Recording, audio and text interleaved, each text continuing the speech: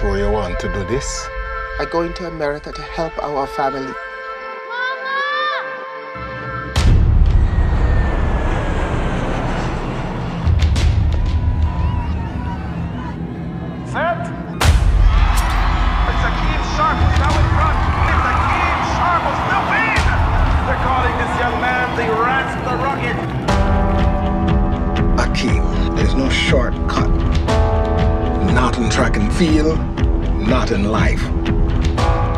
Seem to have come out of nowhere. Now you're being hailed Jamaica's next big sprinting sensation. Rasta Rocky, some bruh. So I make some money.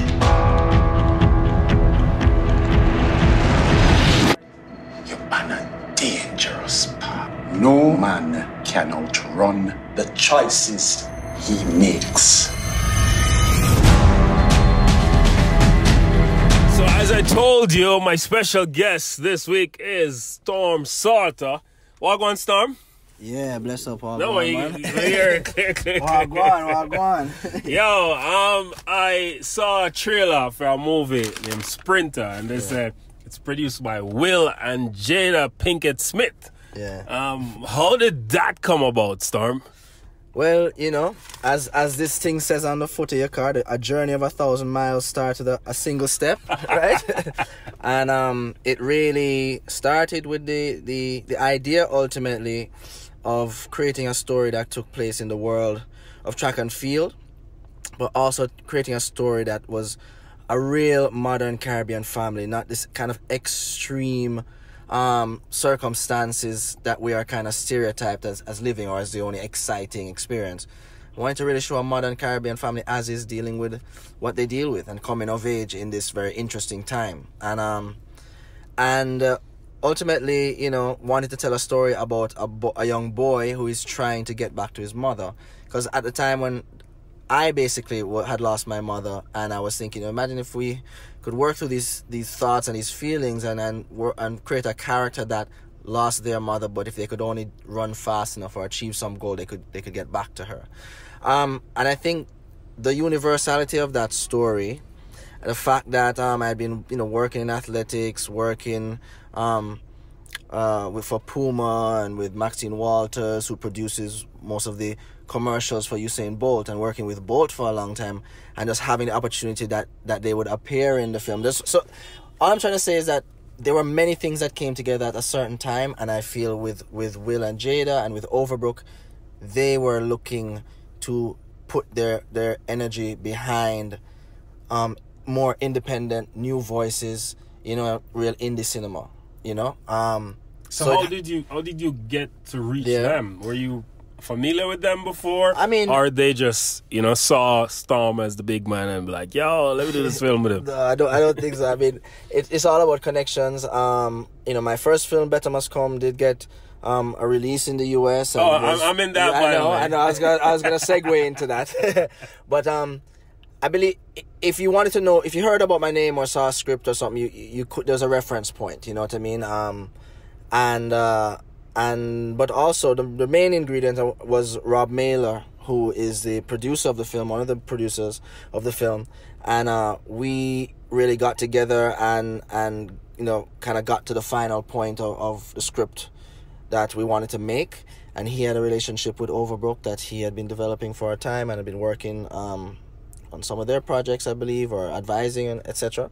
So he basically had a direct line to folks there and was able to put the script in front of them, and that's you know the rest is history basically. Wow, that's wicked. So let's let's take it back. We, we actually Yeah. started at the front, but I want to Yeah. do a flashback, a little directing technique. Yeah. Um, who is Storm Saulter? Like, where are you from? How did you um, get educated in the creative arts, film in particular? Like, Yeah. tell us about that. Um, well, I was born on the west end of Negril, Jamaica, Westmoreland, um, to a pretty large family, you know. By the way, Storm is a white man.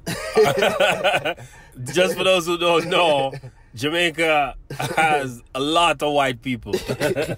Well, um, I guess in different places I'm different things, you know. I don't know if I went to America if they'd say the same thing. you know? ah, that's true. Um, but I, I grew up in Negril and um, in a family of creatives and with very creative parents, Bertram and Guerra and Saulter, and they, you know, that world was very free.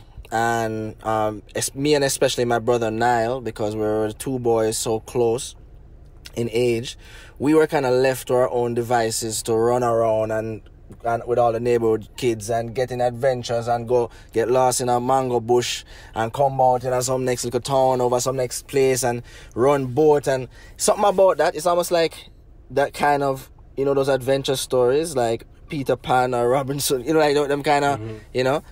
We I kind of live that. I lived on the ocean as well. Um, so I feel like I realize now when I tap into my imagination or, or know or imagine how to make like a, a sense of an atmosphere, there's something about how I lived my, my early childhood and the sense of freeness in thought and and expression. I was always encouraged to be creative, um, and I was creative from the jump. And I Were, started were taking all pictures. the kids around you like this? everybody. And my family is full of creative people.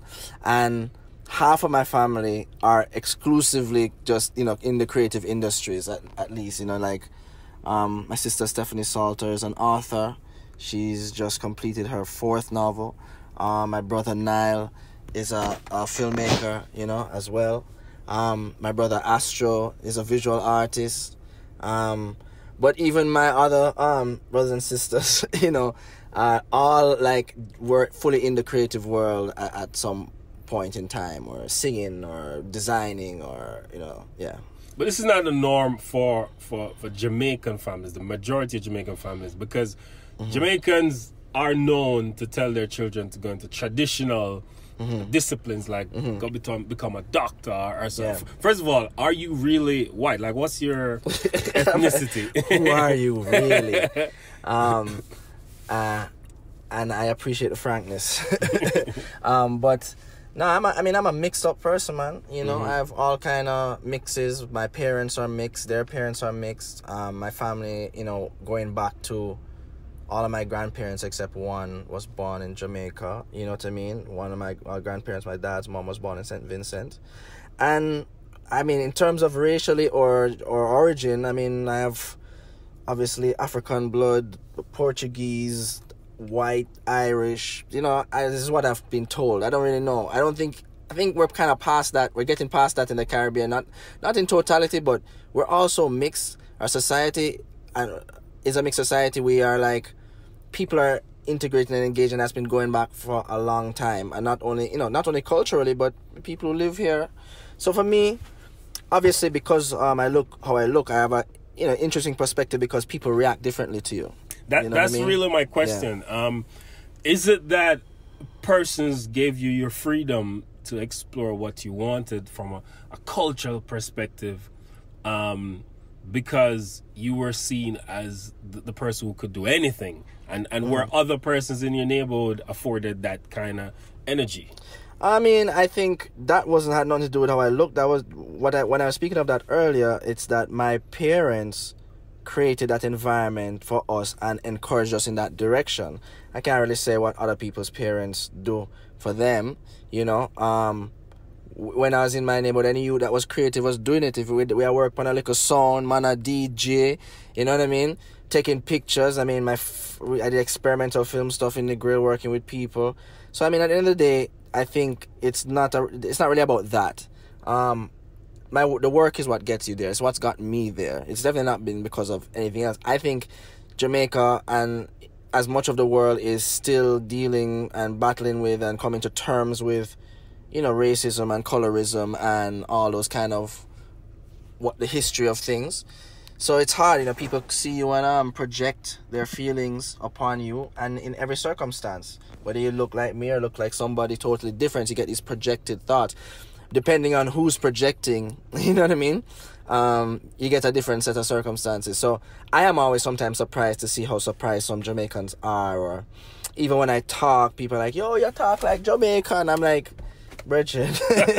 but, you know, I'm not complaining. It's all good. I definitely recognize that. I feel blessed and I definitely was privileged to have a family that did that didn't say no. You have to come to one of these traditional things. In fact they're artists. My parents are hippies and you know ras and you know out in the country you know on a pioneering kind of al- alternative life, you know, and that's where I came from, and that's what I credit for for my commend them for that because if it wasn't for them, you wouldn't be doing what you're doing now. Now, how did you get into filmmaking? Um, it started.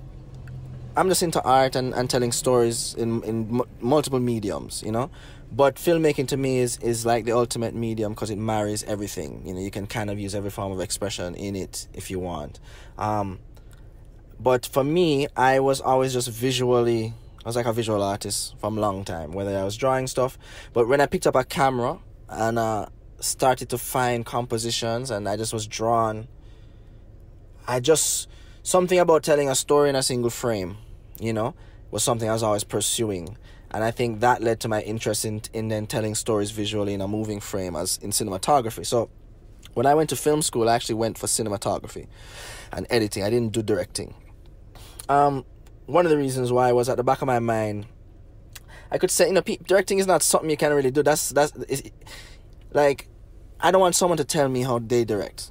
You see me? I need to figure out how I do it. But if I have the the tools, like the ability to to to understand and work the image and the ability to compose the story in editing, those are like the main things that if you have those skills as a director, then you really have the tools to to do it yourself or understand exactly how to guide someone to do it. Um, so I was really into cinematography. I went and studied that, and uh, and I just directed and DP'd my own stuff. Always, you know. I've only recently started to work with other cinematographers. Um, So you didn't Yeah. you didn't have a, a, a desire to become a director when you went to school. I did have a desire. Okay, I think I definitely had a visual thing, but I feel like I did know directing was it probably when I was a, a young teen. You know, maybe 13, 14. I was like, okay. wow, the thirteen. ultimate- Yeah, well, I mean, I went to film school. I turned, I think I turned 17 wh- when film school started. So I went to film school pretty Which school you went to? The Los Angeles Film School. Wow. Yeah. Um, Was that one of the ones that that, that paid to get in?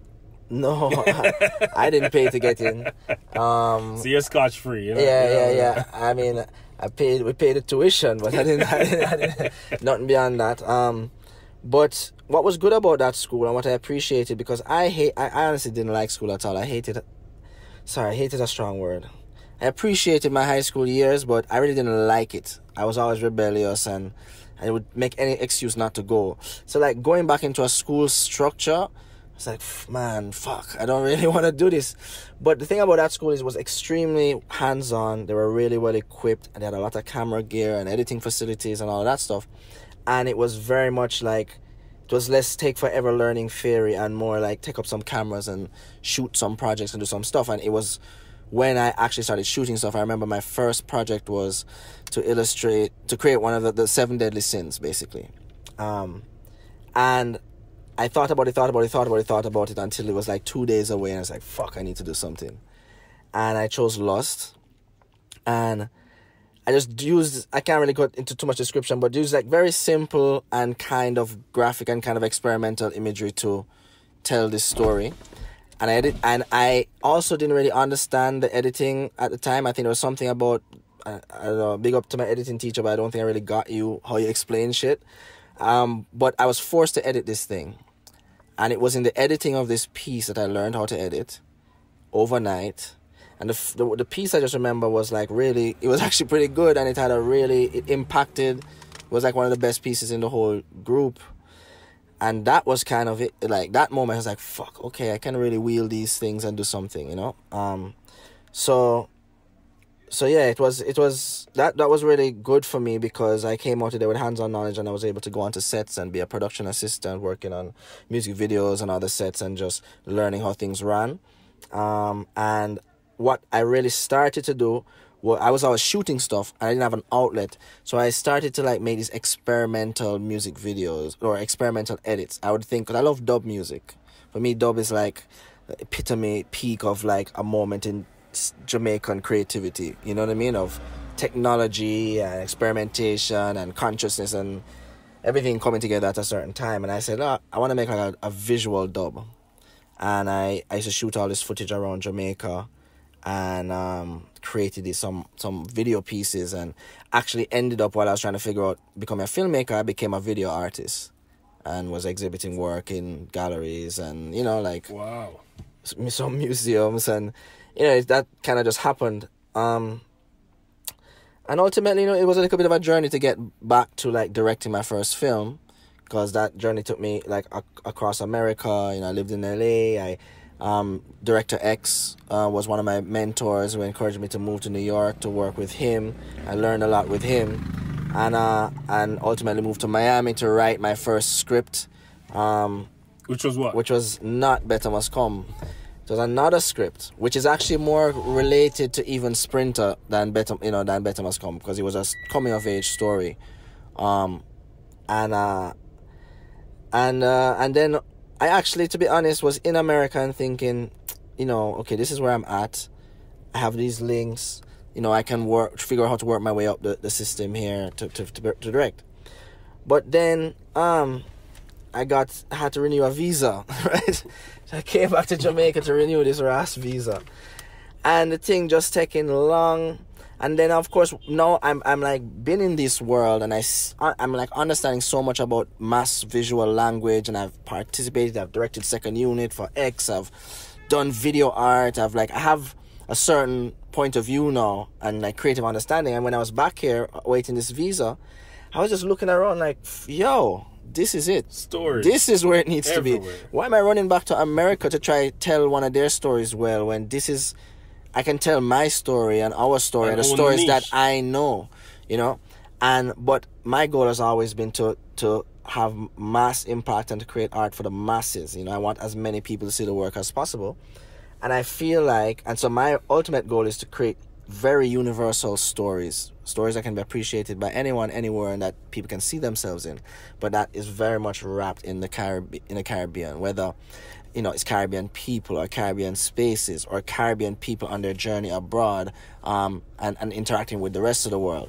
Um, and that's not to say I wouldn't direct other work. You know, I direct commercials and I would direct, be a director for hire, I would direct series and all that stuff.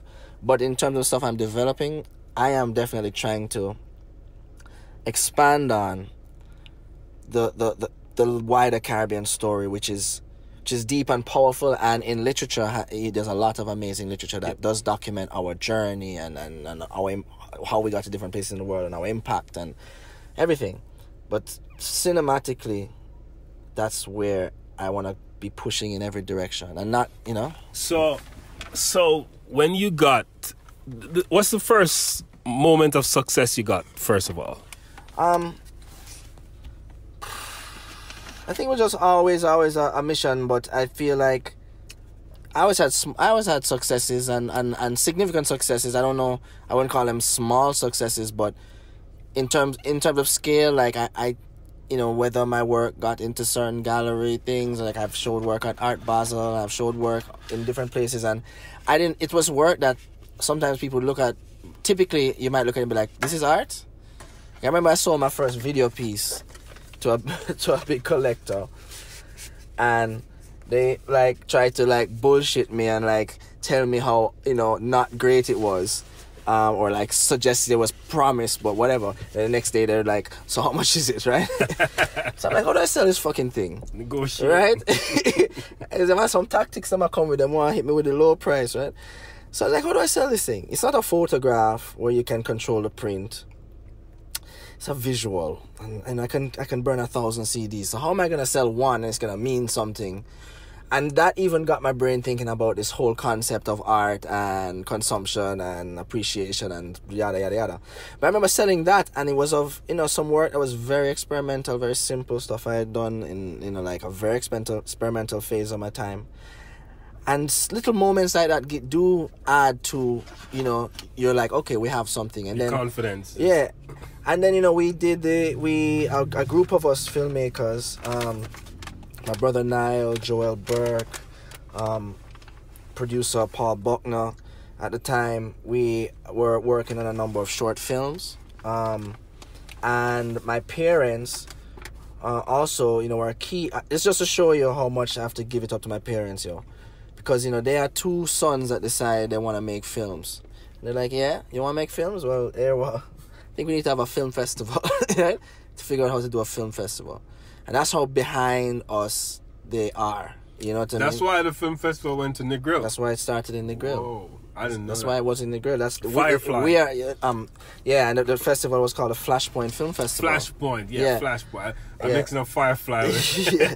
But um, that's exactly why, and it was on the west end of Negril for two years, and then it, it was also then when we came close to Kingston, we went to Port Royal, and it was at that um festival in Port Royal, I think in two thousand and eight, that I showed the f- a rough version of Better Must Come yeah, I was there. I right? remember. I'm not. Yeah, that was kind of an experience. It was long, but I think everybody saw it was took so much work and it was so rough to even get to that point. But I think a lot of people something happened that night. That was like a. s- a I think it was the environment, right? Yeah. It's Port Royal.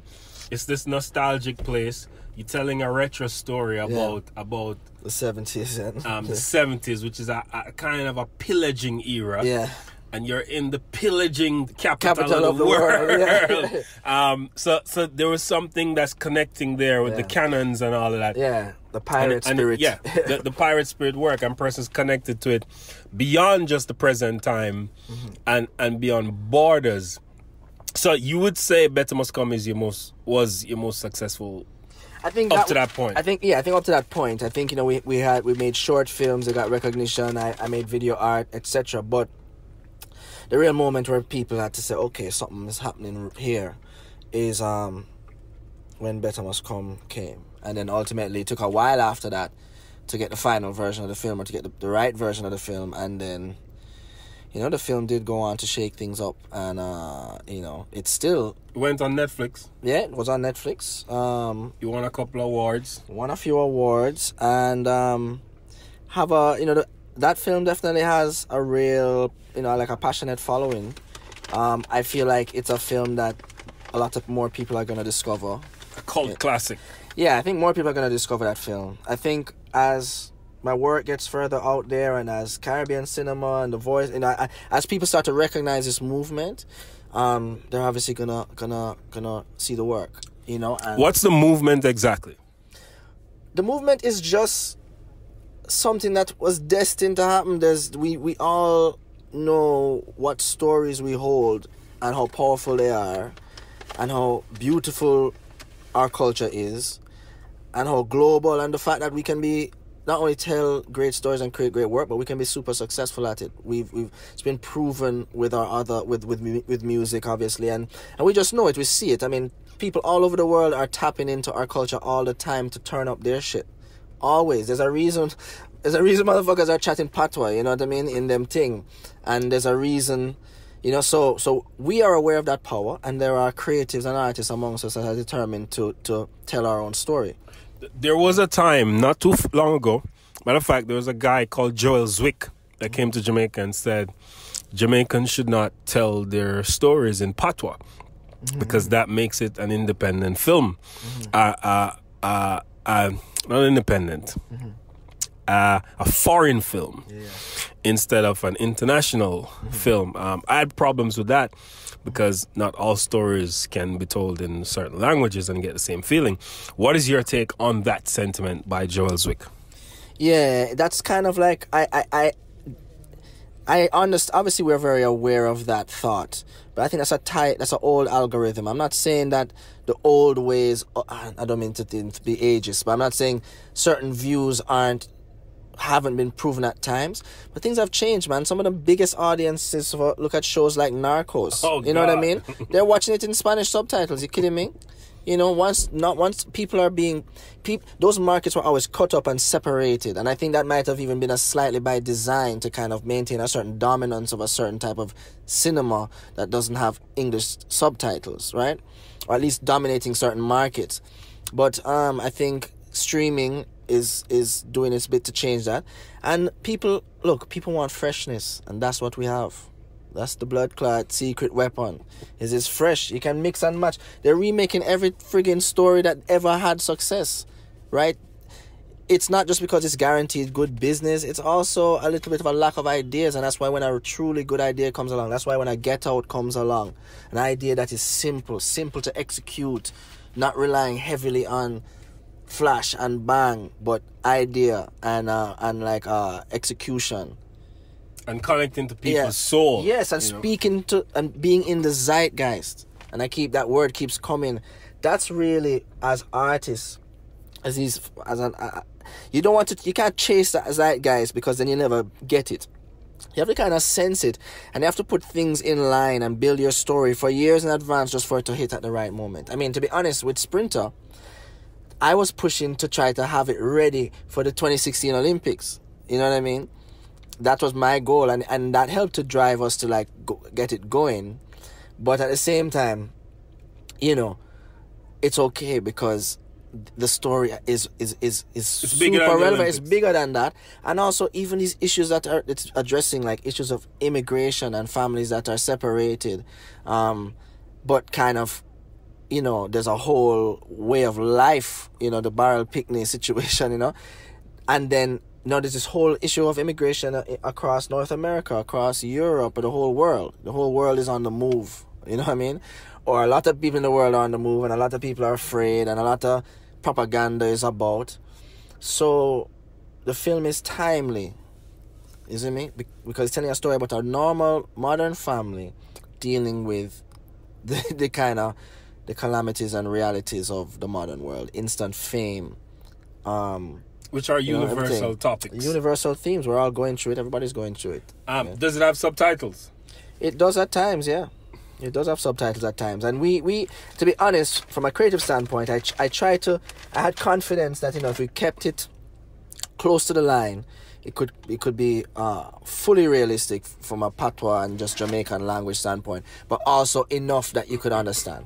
And few audiences do understand, but then there are also audiences that that don't. And I don't know if it's you know them or they may they may miss a few things. And sometimes in a story, you don't want to miss anything. It's all the subtleties. So we have subtitles, and look, the film, which first showed at the American Black Film Festival, um, in 2018, and you know the film really like kind of this was a, a it was a moment, you know. Then the film won multiple awards, you know, won Best Film Audience Award, Best Director, and I think that we kind of came out the gate with a bang there. But what it also did was indicated that yo, this is not just a little niche thing. Like there, are, people are connecting to this in a different way, and I'm not saying it was a surprise.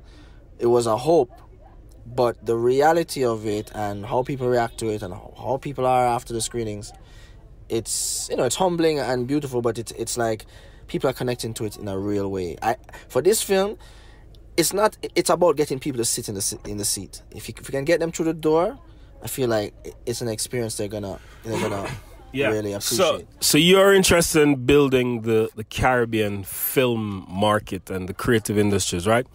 What are some of the things you? One of the things I'm looking at is putting a, a, a movie studio in Portland. okay. It's a safe space, um, and I think it will drive the economy. Plus, I'm from Portland, just like Yeah, you yeah. from Negril. I'm from Portland.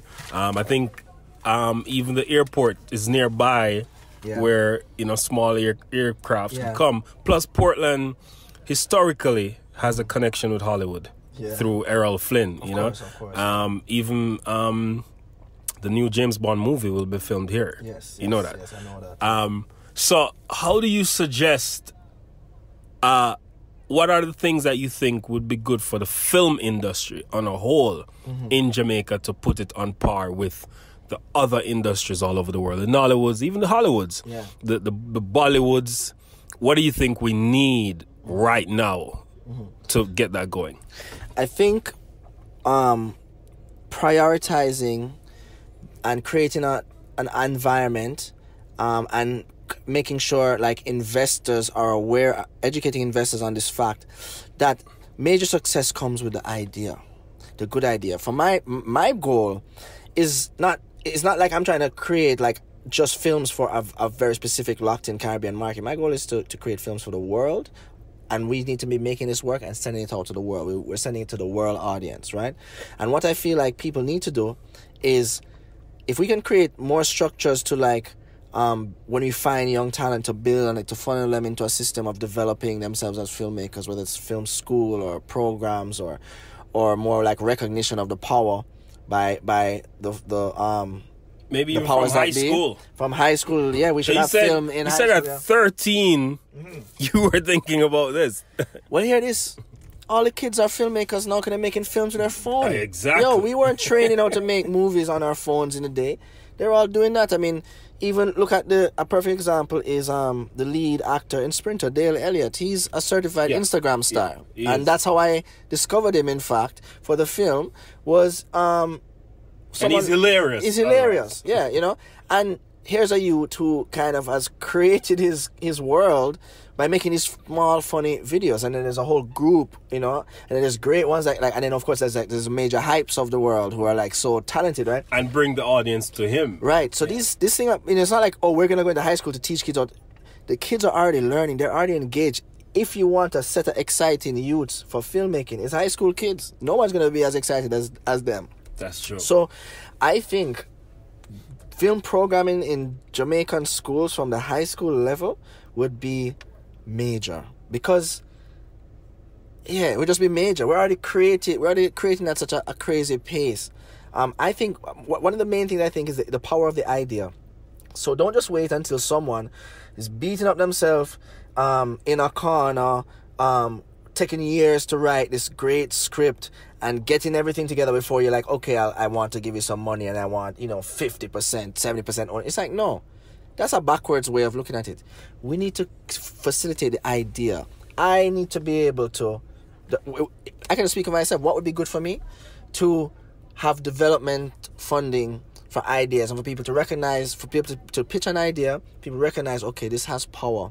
Or we believe in the vision of this person because of we've seen what they've done and if they can just, right? And then putting money into development. You know what I mean? Finding you know funding and grants that will that will support stuff from the, the treatment stage and and and then to the, the script stage, because real breakout success success happens with with good ideas. It's not like oh we had an idea it was good but because we got this new CGI that's what made it a huge success. No, it's always the underlying, the bones and the, the, of the story that is the real success. And that's why you have these mega successful films, sometimes breakout films, because the stories are so good, and uh, and and if the, and if it's beautifully told cinematically, then that's just a, an addition.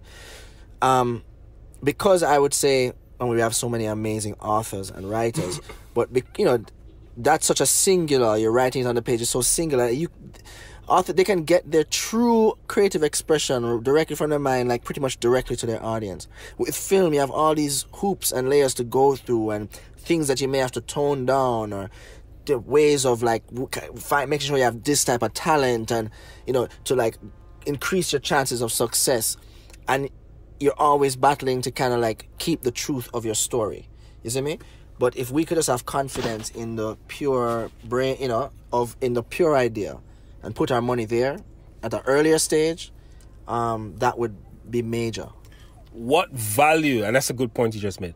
What value do you put on the talent like us creating superstars?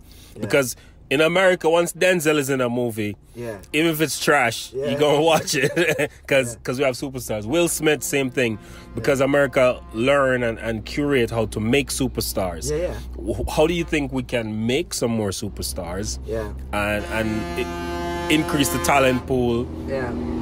Yeah, well, I mean, I feel like the superstars are walking amongst us and we kind of recognize them before them even reach, you know? It's always someone who gets huge and you remember them from before and you're like, yeah, that was always going to happen. So for me, it's trying to create these opportunities and ultimately larger platforms for our actors, for example, to really show what they can do. You know, like an actor like Kadeem Wilson, right? He's so freaking good He's in so- this. He's such a good actor, but in this film, he's just like he's so great. He really steals every scene, and and uh, and he's kind of a complex character. If you know, you you want to not like him, but you kind of do like him, and it's just like talent like that needs opportunity to, to shine and needs nuance and complex roles to play and definitely there is value to working with already established international actors i am just interested in uh, in always getting better and better and better at finding ways of having that work seamlessly where it doesn't in any way affect you know i mean or detract um, that's my ultimate goal and i feel like as i get closer and closer and, and the work gets further out there you know, it's like you get people will come back to yes, let me let me appreciate the pure idea. So I feel like we I feel like we have there are a lot of Jamaican superstars. I mean, Buju is a Jamaican superstar. Yeah. You know what I mean? Obviously. Obviously. Um, Forty-five thousand yeah, people. yeah. You know, Shaggy is a Jamaican superstar, Beanie, Bounty But they're not you know. actors. They're not actors, no. How do we make acting Right. superstars? Because I don't know that we have superstars that are actors who you put them in a movie and immediately it's a box office. When you become a hit. superstar actor, Denzel became great not because he's good looking, it's because he's played iconic roles, he's done it well. So we just give our actors roles, not some little side come in and say two lines and that was your big Caribbean acting moment. No, give you give you the character. Have you play that role that a Daniel Day Lewis a played. range of emotions. Yeah, that yeah, or like a Leonardo DiCaprio played. Like, I don't need a Leonardo DiCaprio to play th- that, you know, that role here. Let's find our person because they're here, you know. And there's there's actors that I that I love that I will, you know will always want to build with. You know, um, Shantol Jackson is amazing. I used to know. teach her by the way. Yeah, Yeah. yeah. Well, it, well, I taught her drama. Oh, So- okay. well, hey, I forget. I, I, yeah, you can take your props for sure. No, no, no, no, no. I, I see her. She's doing her doing her proud. thing. She's doing you proud, She's doing her thing way beyond me because Yeah. I, I taught her in high school, and you don't learn that No, those yeah, kind of yeah. complex roles and creating realities in Yeah. high school. But she's doing she's doing well, you yeah, know. she's phenomenal, you know. And then um, other actors, you know, like uh, Dennis Titus um, was so great in this as well. Um, Shakira South. I mean, there's a lot of actors that have not had a ton of of screen time. You know what I mean? Uh, and I feel like we've, we're introducing a whole new set group group of actors in this film. And I'm always looking for people. You know, I'm always trying to find that, that person that can take it there. You know, um, you know, obviously Sheldon Shepherd is amazing. He's he's Wicked. everything everything he touches is He's just Yardy bam. right now, Him, sh- him shell it. Him are the sheller for the thing. Him and And- Evie. him and Everyone's Evie. really creepy. Yeah, Evie, and Evie is such a phenomenal. So like these, I'm always like, and you know what I'm interested in too. Not only features, but I'm interested in, in series, and I'm developing a series as well as as my next feature. But um, I'm very interested in those because I want. I just I don't want to just be one movie, one movie, one movie. There's a lot more projects to be made, and I want to work with a lot of actors. You see me? I want to work with a lot of actors. In fact, my next feature which I'm um, developing, which is an adaptation um, of a novel by Marlon James called John Crow's Devil. It's uh, it's about two pre- preachers battling for a village, for the soul of a village, right? It's like they're, they're fighting a holy war for the soul of a village, right? In the 1950s. And uh, I it's such a, a powerful work as all, everything Marlon writes is just fucking mind blowing. Um, but it is also like an amazing space for actors, and I keep thinking, man, I just want to create work on a project where I can like populate an entire village with all of the Jamaican faces and talents and people who have been in it and are you know that are good.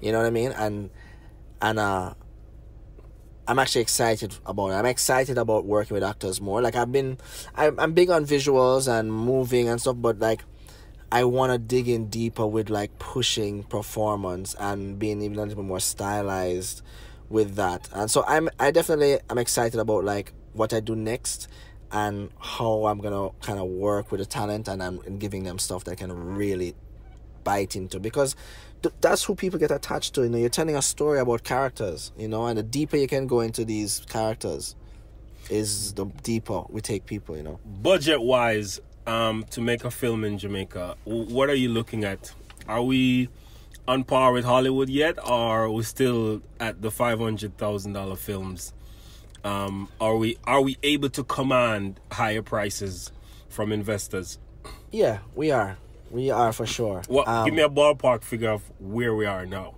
I mean, it's this, this is the thing. I think that some of those walls are falling falling down. I mean, people can definitely see the potential. I don't think they have to cap it at five hundred thousand. We we're definitely making films um in the millions, you know, and uh and at the end of the day, there's films that are made in other places for hundreds of thousands and achieve major success.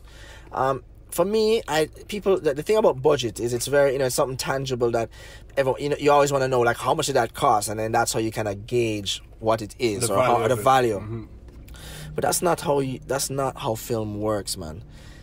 You, I'm not interested in spending one cent more than is absolutely necessary to make the best story possible. Not a cent over. And if I can, even from the development stage, find ways to tell the story without having to sell it with throwing money at the situation, then that's what I'm gonna do. Because not only is it good business, Creativity. certain stories creative. Certain stories require certain things. I I believe in spending money on something if you can't tell a story another way. You know what I mean? That's when that's when it matters. Not because hey, let's shoot this thing. We could have shot it, you know, this way, but let's overdo it with the camera tricks. And it's like, nah. We did that. That's a, that's a very, and I'm happy you share that with me because recently I directed a, a an ad for BOJ, mm-hmm. and they didn't really have a budget, right? Yeah. so I said, "Yo, give me the budget you have, and we'll work it." And I decided to tell the story with a car, Yeah. as in Yeah. no no talent. Oh, it's just a car driver. I'm just gonna have the car drive around. You know, I shot it, add the graphics, edit it, you know, do some drone shots and so. Put the music to it, the jingle to it. I woke up one morning and saw the ad on Yahoo Finance. oh, that's cool. That's wicked. And I'm gonna play it on this episode. Yeah. It's on Yahoo Finance. Then I saw it on MSNBC. Then I saw it on a couple other international Bloomberg saying, "Yo, this is the wickedest ad they've ever seen." Pity they don't know it's a budget issue, and you really had to cut the script. and I just cut and use what I have. I had a blue car. yeah. I'm like, all right, I'm gonna shoot this. I'm gonna use a car to hmm. travel around Jamaica and tell the story of commerce and urban life mm. and make the car have its own personality mm-hmm. and put it out. So you, you're absolutely correct. Yeah. It's not all the time. I mean, you need the budget sometimes, Yeah. you know, but it's not all the time that you you're gonna get the budget, but you still can tell the story, and it, it helps you. It helps me as a filmmaker because I do learn Yeah. from you, Storm. I learned from you from back then, and I, I I just tell myself that yo, once I have the the, the feeling that it can work, Mm-hmm. and and I'm gonna use the idea. If it don't work, I can do it again. But Mm-hmm. but I feel like it could work. Even the DP Mm-hmm. and the other people on set were like. What the fuck are you doing, JR? I said, watch what I'm doing. yeah, man. Hey, man. Look, uh, if you want, if you desire something, man, you can, you know, that you can. Manifestation's a real thing. You know, you just have to take. You know, as I as I've always said, you know, um, just just a quote that means a lot to me is if you um take one step towards something, it will take two steps towards you. You see me in every in any direction. Um, so it's like if you want to get it done, you find a way. And I feel like your param if you're given parameters, it flex it makes you flex your muscle. It fle- you flex your creative muscle, and kind of re- can reroute a story or a way of executing a story. Um, and that's a, that's a way of exercising. You know, that's not a bad thing. Because maybe you know? if had the budget, I would have put a whole bunch of dancing people in Yeah, the video. exactly, I would be exactly. doing another music video. and, and wouldn't- Yahoo wouldn't and pick it up. wouldn't play it. You know, yeah. yeah, I, you know. I saw it go, man. Hey, a lot of times it's Jah works in a brethren. and Yeah. That's how the thing goes sometimes, you know. Um, that's why, you know, as people, we always like me too. You know, I, I overthink everything, and sometimes you, even when great things are happening, you're not even feeling great. But what I strive to do, and what we should all strive to do, is keep that optimism about us because not only does it, you know, you can find ways of, of or trying to see the brighter side of a situation, it you don't realize how it changes almost like your magnetic frequency. You know what I mean? And and I've experienced it where I'm just down, down, down, down, down, and things go wrong. But then I've also found where I just kind of let it go and just say, yo, I'm going for it, no matter what obstacles might seem like is there. And then all of a sudden, to us, everything is happening. magic. Yeah, I mean, look, it took a long time to to it took a while to write Sprinter. Maybe not a long time because some scripts take really long. Um, but uh, once we we had the final version of the script, we were pretty much greenlit. I don't know, three months later, and we're shooting f- maybe five months after finishing the script. So you might work on a script for years taking forever. Can't figure it out. Second guessing, not uh, not sure, not putting the time. and thinking, you know, it's just gonna take long anyways. And if you just realize, Ross, if I had finished this a long time ago, maybe would have been in the Yep, can. yep, you know, so it's hard, but you have to push. You know. My, my last question is um, give your suggestion to young filmmakers who have an interest in filmmaking. How might they solicit funding? How may, might they get their connections? Um, you took a different route, obviously, um, but but what are some of the suggested ways that they could up their network and know some people so that they could get their stuff greenlit? Yeah. Um you know, one of the best things we have going right now or a great example that should be kind of eh, built upon is the JAFTA Propeller Project. the Jamaica Film and Television Association. And uh, they have a annual um, project where folks uh, submit scripts, short film scripts, and are and it's judged. And uh, I think last time they had like they got fifty or more scripts, and ultimately you go through workshops, you go they go through rounds, and finally you know they choose I think five scripts and finance them, and so every year you have five new films by pretty much new directors. And uh that's just one program. Obviously there could be more. But it's just an example of if you really have the chops jafta you know it's a good route. And for example there's films that have um been made like uh this really amazing short film called flight um by kia moses.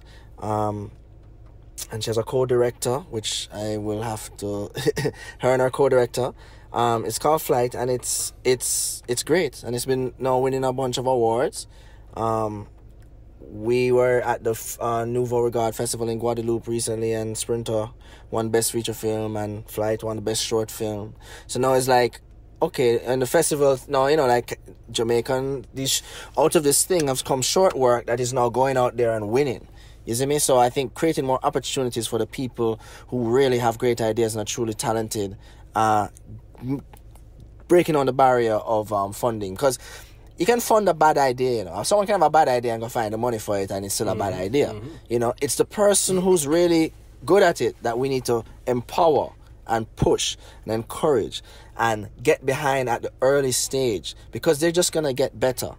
You know what I mean? I, I'm always getting better. I'm always becoming a better director and a more efficient director. You know what I mean? And it takes quicker to find a way to know what you want or to recognize a performance and how to push it in whatever direction. Um, but it, it, it starts at the beginning, it starts at a small step. So um, I feel that's it. I know that there's conferences. I, I'm going to be speaking at an investor conference tomorrow morning um, as a guest of um, Jampro and the Film Commission. Uh, and that's going to be with uh, angel investors, banks, uh, private equity, and other investment. They're going to be the you know they're to be there trying to hear how we do this business to maybe see how how they can get into it. So I will say that it, there is a nice I feel a nice energy in the air in Jamaica for like entrepreneurship and and you know ups you know people finding new industries. There's definitely a want for it, and there are groups to back it, and I think they'll back film. And you know with uh Sprinter we were able we had some you know a bit of corporate support you know. Flow was a was a big sponsor. Um and they you know they put their money where their mouth was and um it was you know great you know product placement etc puma was also a sponsor. Um grace kennedy was also a sponsor. And i think like getting corporate sponsorship like real corporate support for product placement or some other avenues. It's not been like they've not really done it done it done it like that. But hopefully step by step we're creating that that understanding of how it works. And and now you know you're seeing oh wow okay our, our brand is in this thing. It's powerful. It's it's going across the world. So um, Especially for series. yeah, yeah, for series, and also you know, it's you know, there's various budget levels. I mean, people are doing web series that are super great. And there's this web series, Dreaming Whilst Black, right? Um, it's a great web series, right? Um, I don't know how. I have to ask the filmmaker how much he spends per episode, but at the end of the day, in the same way, um, Issa Rae had Awkward Black Girl and then went on to develop that or develop a newer thing with Insecure with HBO. Now she's a superstar. It all starts with how good the idea is. And that's why I keep coming back to, and that's the one thing that I want people listening to understand that it all starts with the idea. Um, and it's only when that idea when that idea is great you can make magic you can move mountains you see me um so if you it's like invest early in different ways and empower early so that we can really have an impact you know Storm Saulter, thank you so much. This is the Top Form Podcast.